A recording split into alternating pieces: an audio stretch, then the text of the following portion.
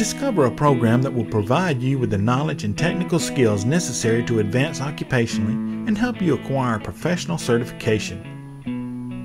Discover how to promote occupational health and safety within organizations by advising management on how to increase worker productivity through raising morale and reducing absenteeism, turnover, and equipment downtime, securing savings on insurance premiums, workers' compensation benefits, and litigation expenses.